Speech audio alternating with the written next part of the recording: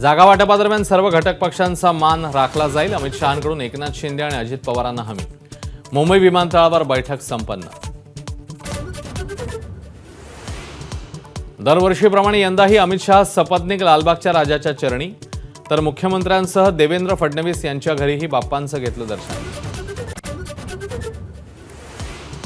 शरद पवारांनी जाबाई आणि नातीसह घेतलं लालबागचा राजा आणि चिंतामणीचं दर्शन.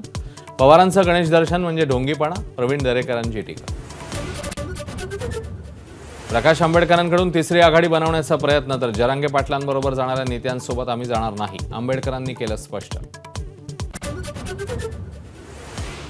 फडणवीस साहेब तुम्हाला लोळवल्याशिवाय आता मराठा समाज मागे हटणार नाही. बीडमधील घोंगडी बैठकीत मनोज जरांगेंचा पुन्हा हल्लाबोल.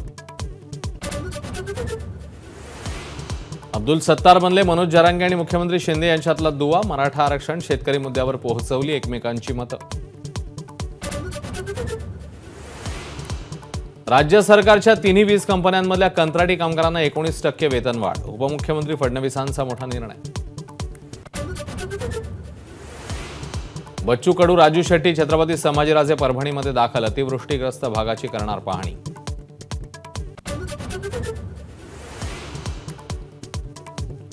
श्री विठ्ठल सहकारी साखर कारखान्याकडनं साडेतीन हजारांचा भाव जाहीर. निवडणुकीच्या तोंडावर अभिजित पाटील यांचा मास्टर स्ट्रोक.